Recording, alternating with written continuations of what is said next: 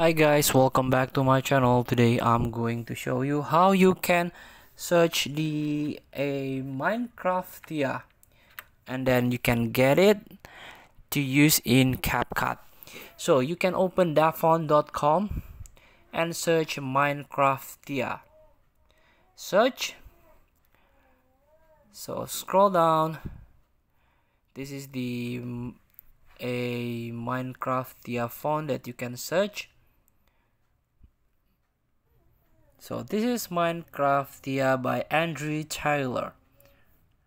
so this is similar with Minecraft game you can download now downloading file but in order to use this a Minecraftia you can open the file by extract or decompress using the application. As you can see, Minecraftia.zip archive successfully decompressed. So now let's open the TikTok, I mean the CapCut. Open one of your project that you want. And then tap add tags, add again tags, and tap fonts and you can tap add font here so you can tap plus and search the minecraftia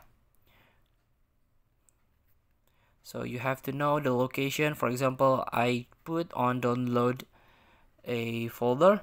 This is minecraftia regular.ttf you can tap it. And now minecraftia font can use in tiktok. So you can enter the, the text here.